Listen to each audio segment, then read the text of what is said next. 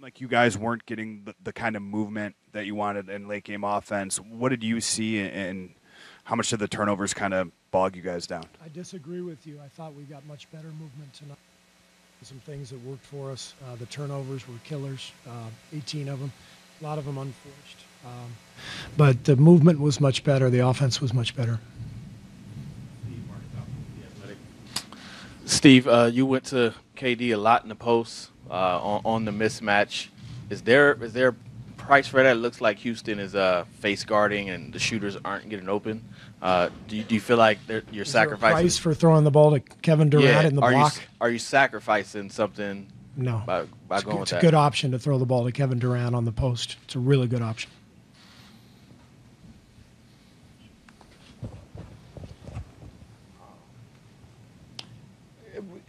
On the last play when uh, Steph hit it ahead to Draymond, was that kind of the design, or, what was just kind of the play design? Well, it was a that? tough break for us because um, we got the rebound um, off the missed free throw, and you know it's one of those plays where if you get the immediate timeout, you get to advance it, and the ball kind of squirted loose, and you know I was calling timeout. Sometimes they'll give it to you, um, but Draymond, because he fumbled it it bounced. They said he took a dribble. It's kind of a judgment call. Uh, so now we got to go full court with six seconds left. We knew they had a foul to give, so we wanted Steph to push it, and we were anticipating that they were going to foul Steph. Uh, but he made the right play. He threw it ahead to Draymond. I think Draymond saw an open lane uh, to the basket, but he knew the time was winding down a little bit. I think Draymond probably thought he could get to the rim and dunk it. Um, I'll have to see the replay. I think Clay may have been in the far right corner. Um, so we had the floor spread. Um, and I, th- I thought, m- without having seen it yet, I, th- I thought Draymond just rushed it a little bit and fumbled it. Um, but, it, you know, it was the play was unfolding nicely. It just didn't turn out, obviously. Steve Mark Schwartz, ESPN. Chris Paul scored 18 of his 20 in the second half, and it seemed like he was successfully drawing your bigs to him for the isolations. How challenging was that for you with the personnel yeah. that you had, and, and what did you think of how he was able to get those? Well, Chris, Chris is um, you know he's a Hall of Fame player, um, and look, um, this is what they do. They put James and Chris in pick and roll every single time, so they're going to challenge you. Um, we did a great job. They combined to shoot 11 for 40. Um, he hit two fadeaway 35 foot threes that were just unbelievable. You got to live with that. What we can't live with is reaching and jumping on Eric Gordon's pump fakes. Um, Gordon shot 10 free throws tonight, two of them on three point, or six of them on uh, three point shots. Uh, we reached on James. James shot uh, nine free throws. We've got to be a little more disciplined. Um, I feel great about where we are right now. And that may sound crazy, um, but I, I feel it. I know exactly what I'm seeing out there.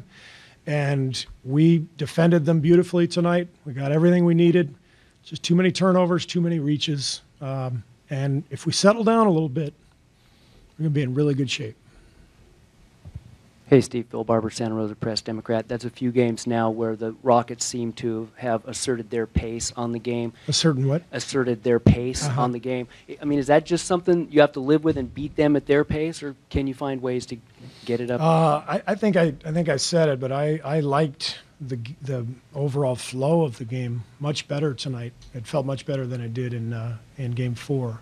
Um, but we got rushed in transition. We had several turnovers where we just uh, kind of got uh, a little too excited and threw the ball away. And um, you know, ideally we take care of the ball. I always tell our guys hit singles. We were trying to hit triples. We got to hit singles. Um, if we do that in transition, um, we're going to get some more good looks. I thought we had some great looks that we didn't knock down tonight that will go uh, in game six. And um, I like our defense. I like our effort. I like our competitive desire. Um, just got to be a little wiser um, with the reaching and taking care of the ball. And when we do that, we're going to be in great shape. Steve, uh, Mark Medina, Bay Area News Group. Uh, the telecasts capture part of your message to Kevin about trusting his teammates. How did you see that play out throughout the game? Uh, I just thought he got into a little bit of a rush, um, like we all did. Um, maybe it was the third quarter um, where he was attacking, which I liked, but he was trying uh, some difficult passes. And uh, I think I was just telling him, hey, let's, uh, you know, let's move the ball onto the first open guy and keep keep playing, and uh, we're going to get good stuff. And uh, you know, Kevin, um, the guy is just such an amazing talent. He does so much for us, and you know, you got to go to him on the block. You got to give put the ball in his hands. Uh, I'm sure he has a couple shots he'd like to have back, um, but uh, he was uh, he kept us in it. You know, ten free throws. I loved how he attacked. He attacked right away, got into the paint, did a lot of good things. Um, but I feel I feel like uh, we keep playing like this with a little more discipline. Um, things are going to turn for us. Steve, uh, Houston Chronicle, looking at Game Six, given how hurt it looked like Chris Paul might have been at the end there, and that he either he might miss the next game or he will he might be ha- have to overcome some kind of injury. How much of an advantage is that to you? And I, I hope it's not thirteen point seven percent. Uh, well, look, um, we, we're just going to go out and play, and we don't, you know, we don't know who's healthy, who's injured. You know, we've been without Andre the last couple of games, and we've adapted, and it's part of the playoffs. You just play, and whatever happens, happens, and uh, so I have no idea. Well, maybe, I can answer that question better if if um, if there's some declaration as to who's in and who's out. Ramona Shelburne with ESPN here. I, I don't know if you've had a chance to talk to the team all that much yet, but this is probably the, the worst situation you've been in since Kevin's been on the team. The, in terms of these guys, sort of desperation, backs up against the wall. Is there, Yeah. is there any, do you have a sense of how they're taking this so far, or how they respond I to it? I think they're angry. I think they know that uh, we could have won this game, could have won the last game. I think they're sitting in there and they're angry, as they should be. You know, they're competitors. Um, I like what you said. Uh, this is the worst situation we've been in since Kevin's been here, and uh, we're two wins from making the NBA Finals. It's a that's a pretty good worst situation to be in. So uh, we're we're right there. Um, We've, we, uh, we found some things tonight that worked for us. I'm extremely confident uh, that we're going to uh, take care of business, and uh, we just got to be a little sharper. Steve Marcus Thompson with the Athletic. Um, defensively, you guys held them to under 100 points. What what's been the difference with the uh, especially the perimeter defense? Why why has it been so good these last two games, especially Our down the stretch? defense? Yes.